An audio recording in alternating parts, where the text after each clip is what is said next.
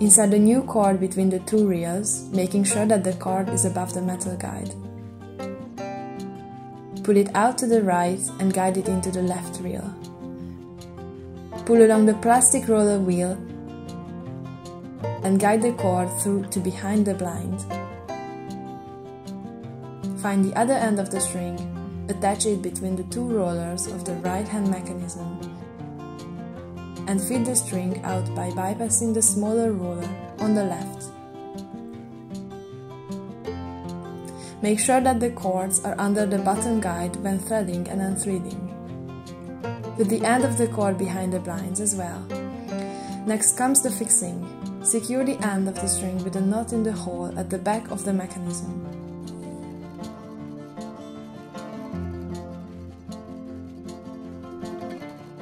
In our example, we are replacing the cord in the right hand blind.